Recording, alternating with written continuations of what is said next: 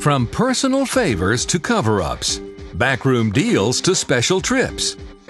These are the 10 most corrupt Dems of 2012. This week's corrupt Democrat Nevada's own John Oceguera. North Las Vegas was teetering on the verge of bankruptcy, and Oceguera did his best to push it over the edge. He retired, yes, retired, at the ripe old age of 43. His parting gift? Oceguera cashed in a whopping $283,000 in unused sick leave. Now he's even taking a $100,000 pension. All told, Oceguera collected a stunning $450,000 in 2011, one of Nevada's highest paid public employees.